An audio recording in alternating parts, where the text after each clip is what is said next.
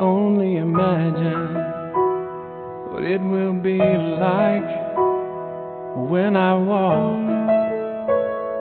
by your side.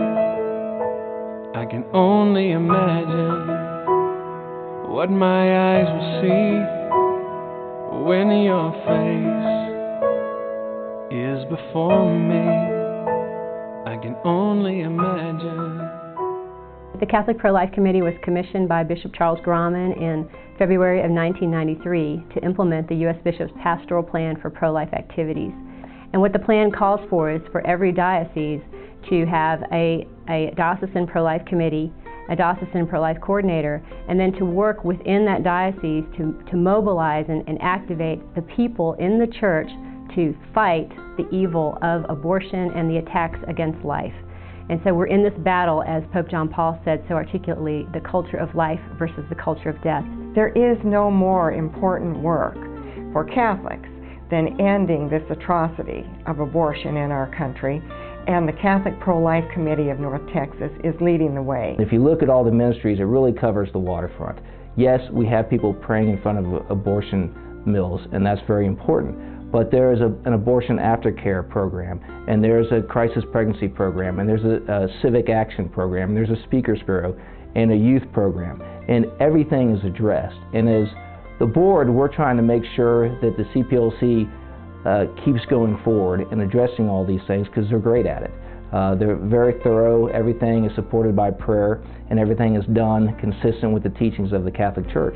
I would certainly hope that in my time here as the Bishop of Dallas, where this tragedy began, that we will see it come to an end also.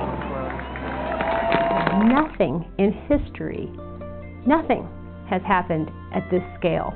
We have 1.2 million abortions a year in the United States alone, a billion worldwide. And each life is absolutely precious and must be defended. And the church has taught us that we need to defend the lives of these precious, innocent brothers and sisters of ours. The first time I went to the doctor, um, that's when I was trying to figure out if I wanted my abortion or not. I remember one of the things they did was when they check your baby's heart rate.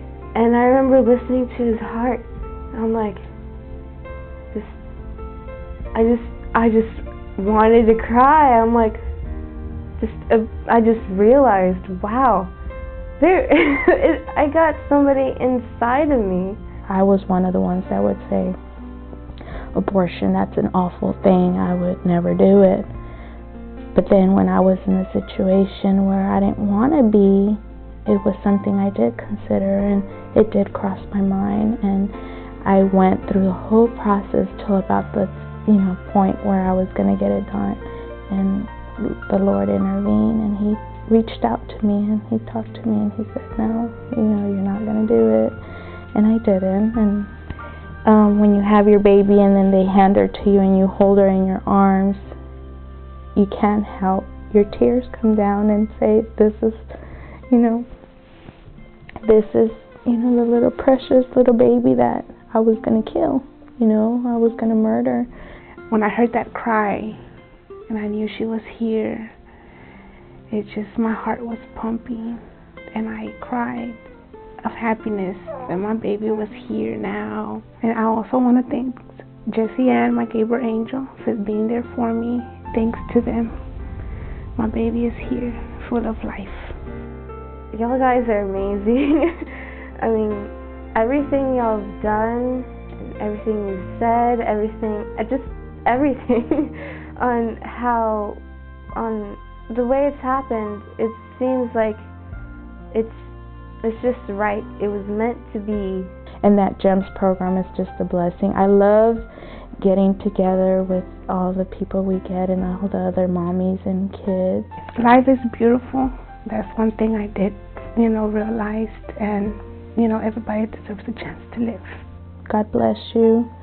Um, god is definitely using this program, this ministry, um, to you know save these babies and for us to do the right thing. And I would say, God bless you. Surrounded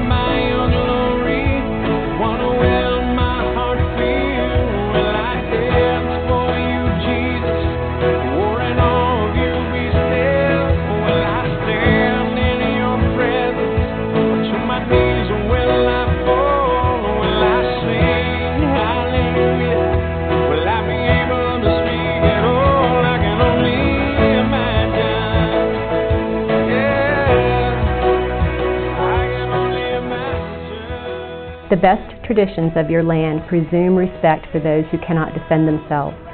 If you want equal justice for all and true freedom and lasting peace, then America, defend life. All the great causes that are yours today will have meaning only to the extent that you guarantee the right to life and protect the human person. Feeding the poor and welcoming refugees, reinforcing the social fabric of this nation, promoting the true advancement of women, securing the rights of minorities, pursuing disarmament while guaranteeing legitimate defense.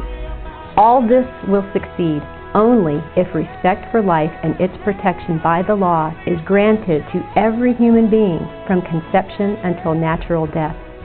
This is the dignity of America, the reason she exists, the condition for her survival.